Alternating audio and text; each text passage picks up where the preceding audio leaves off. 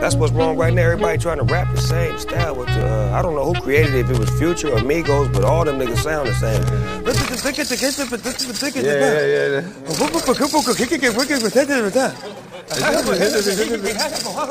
yeah, yeah.